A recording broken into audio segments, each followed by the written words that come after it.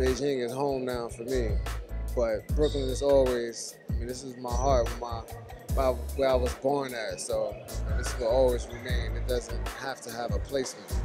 What we're trying to do is we're trying to give kids the, the cultural difference in playing basketball abroad. You know, allowing them to be able to identify something completely different from what they're they're they're used to. Bridging the gap, you know, giving them the opportunity to experience playing basketball here in the United States, and then taking kids from America and bringing them to China so that they can play basketball. The experience is really what it's really about, um, and it's, it's it's a blessing for them to have this opportunity.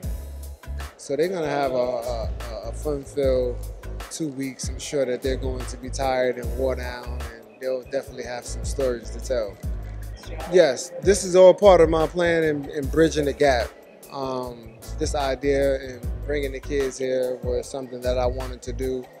Um, I think it's important for us to continue to, to um, not only exchange students, but give the students the opportunity to come here, you know, not just as an exchange student, but to come here as a group. And now with them having this new vision in mind, you know, their, you know, their minds and the way they think, you know, would, would, would heighten.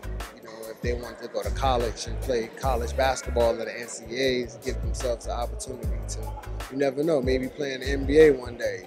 You never know what can happen.